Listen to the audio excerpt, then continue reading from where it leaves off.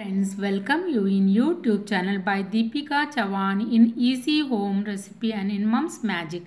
आज आपको Mexican hot chocolate बनाने की विधि बताती हूँ। उसके लिए हमने पाउडर शुगर आपका स्वाद अनुसार लीजिए। दूध गरम आधा लीटर लीजिए। मलाई थ्री टेबल स्पून लीजिए। दालचीनी के पाउडर वन पिंच लीजिए।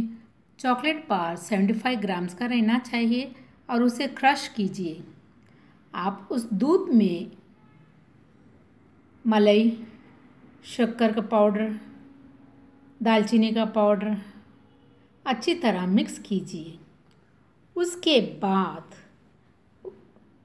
उसे सर्व करते समय उसमें चॉकलेट को क्रश कीजिए और उसे गर्म ही सर्व कीजिए।